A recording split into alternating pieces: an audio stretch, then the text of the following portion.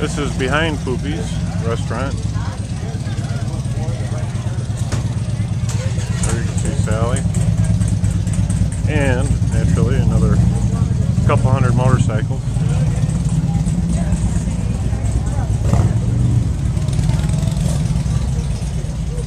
And even an ATV.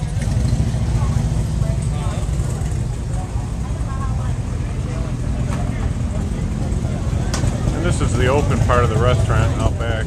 People can sit outside